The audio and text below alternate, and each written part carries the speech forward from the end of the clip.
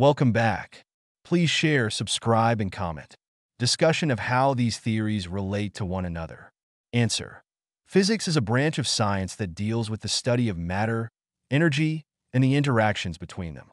It encompasses a wide range of theories and concepts that are interconnected and build upon one another to provide a comprehensive understanding of the physical world.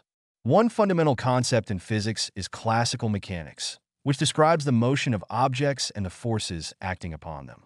This theory was developed by Isaac Newton in the 17th century and forms the basis for many other branches of physics. Another important theory is electromagnetism, which describes how electrically charged particles interact with each other and with magnetic fields. This theory was developed by James Clerk Maxwell in the 19th century and has profound implications for modern technology, including electricity generation, communication systems, and electronic devices. Quantum mechanics is another crucial concept in physics that deals with the behavior of particles at very small scales.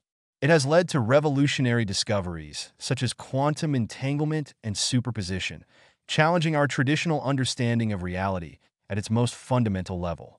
The theory of relativity proposed by Albert Einstein revolutionized our understanding of space-time and gravity.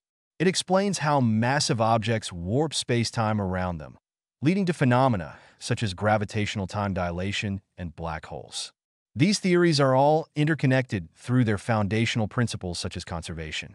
Laws, e.g., conservation of energy, mathematical frameworks, e.g., calculus, and empirical evidence from experiments.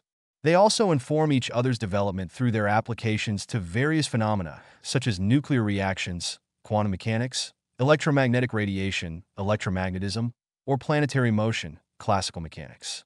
Overall, these theories form a cohesive framework for understanding the physical world at different scales, from subatomic particles to cosmic structures, while also pushing our knowledge boundaries further through ongoing research efforts in areas like quantum gravity or string theory.